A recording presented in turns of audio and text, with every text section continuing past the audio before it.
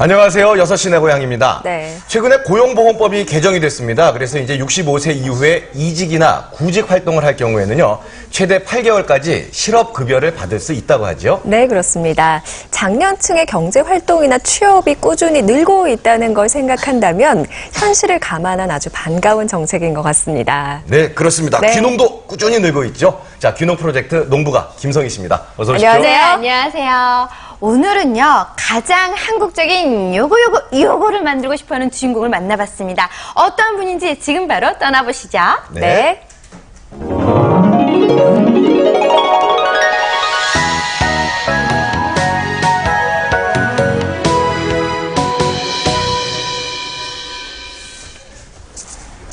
더위가 기승을 부리던 날, 충북 영동을 찾았는데요. 어우, 더워라. 안녕하세요. 어, 좋아요. 막걸리 한잔하고 날도 덥고 한데.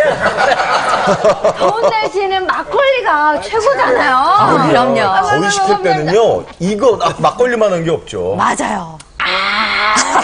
오, 왜? 왜요? 어? 이거, 이거 와인잔이 여기 있어요. 막걸리 아니에요? 아, 어르신들의 우아한 자태, 그 뒤에는요. 와인이네요? 네. 시골이라고 막걸리만 드시나요? 지금 와인이 대세입니다. 대세예요. 와인을 만드는 남자 안남락 씨가 있었습니다. 저도 그 와인 좀 맛보고 싶어서 주인공을 따라갔는데요. 이쪽 아래로 내려가는 이유는 이런 피서는 저는 여기서 합니다. 우와 와인 숙성실이 숨어 있기 때문이죠. 와, 기가 막히게 꾸며주셨네요. 네. 온도도 딱 맞을 거고요. 이거 꺼내서 먹으면 되는 건가요? 아니죠. 이거 아니에요? 그, 예, 그거 말고 최고의 와인이 여기 들었습니다. 주인공이 직접 담근 와인이 여기 있습니다. 그리고 이제 이게 오크통에 숙성을 해서 네. 그 오크 향이 아주 빛깔부터 참 곱죠. 빠져들겠어요. 네. 눈으로 한번 마시고 아니, 벌써 취하셨네. 맛을 하는 거예요. 그러니까 또 우아하게 마시는 거잖아요, 이런 건. 맛있다. 아유, 뭔 이렇게 맛있어요? 더 줘요. 아유, 인생각 이거 먹으면 어떡해요? 더 줘요. 아유, 아유, 좀 먹다 보니까 그렇게 됐어요. 자, 와인이 만들어지는 장소, 바로 여기입니다. 여기 있는 거는 이제 포도 파쇄기, 저기 있는 거는 이제 착즙기예요. 네. 착즙기고 여기는 그 와인을 이제 그 숙성하는 공간 네, 아. 그런 장소예요.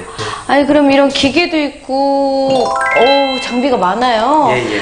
경비가 꽤 많이 들었겠어요. 예, 영동군이 이제 와인 특구가 됐습니다. 네. 그런데 이제 영동군이 이게 정책적으로 여기가 이제 포도의 고장이기 때문에 어, 와인을 담는 거는 이제 정책적으로 지원을 해요. 영동포도 좋죠. 그럼요. 주인공의 경우 이 지원을 알차게 활용했는데요. 각종 설비에서부터 시작해 앞서 보셨던 지하 숙성실도 지원비로 지은 거고요. 이 체험장도 마찬가지입니다. 비용 부담 팍팍 덜었겠죠? 그럼 이 비싼 장비들이 다 있어야지만 와인을 만들 수 있는 거예요? 꼭 그렇지는 않습니다. 어, 이제 그 가정에서 담을 때는 그냥 그 작은 통만 있어도 술을 담는 데는 아주 지장이 없어요. 이번엔 와인에서 가장 중요한 것 포도를 만나볼 차례죠. 12년 전 고향이었던 영동으로 귀농해 포도 농사를 시작한 주인공. 워낙 여긴 포도가 유명해서 작물 선택하는데 그리 어렵진 않았겠어요. 맞습니다. 포도 향이 좋죠? 네, 너무 좋아요. 포도가 참 실하더라고요. 특이한 점은 귀농 초반부터 와인에 도전했던 겁니다. 귀농도 힘드시잖아요. 포도 수확하랴, 재배하랴. 근데 어떻게 와인까지 만드셔요? 아, 포도즙을 이제 제가 처음에 해봤거든요. 해봤는데 이제 어, 여러 가지 판로 문제나 이게 이제 그 주위에 또 너무 많습니다. 너무 많다 보니까 이제 서로 경쟁도 되고 와인을 이제 그 한번 만들어 놓으면 숙성이 되는 과정에서 이제 부가가치가 더 높기 때문에 쪽